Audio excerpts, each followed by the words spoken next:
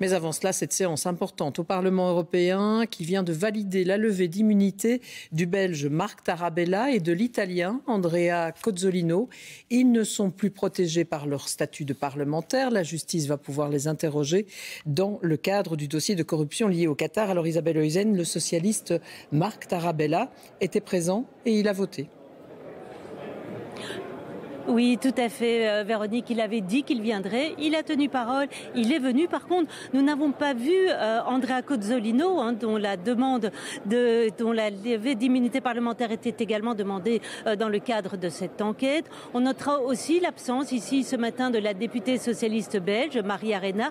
Elle n'a pas participé à ce vote. Un vote qui, il faut le dire, a été réglé en quelques secondes. Hein. Tout s'est passé très vite, comme on va le voir dans ce reportage que nous avons tourné ici ce matin au Parlement européen avec Dieudonné Pipers et Nicolas Lejuste. Marc Tarabella n'a pas fui les caméras pour venir voter sa propre levée d'immunité parlementaire. Monsieur Tarabella, vous confirmez, vous allez bien voter? Je vais voter mon- la levée de mon immunité, oui. Aujourd'hui, il ne fait plus partie du groupe socialiste européen. Il est non inscrit. Alors, il siège tout au fond du Parlement, presque seul. Très vite vient le vote sur la levée de son immunité parlementaire. Elle se fait à main levée et Marc Tarabella lève la main comme beaucoup d'autres. Le vote est largement positif. Le député européen sort alors et adresse quelques mots à la presse. Je suis venu expressément pour voter en faveur de la levée de mon immunité parlementaire.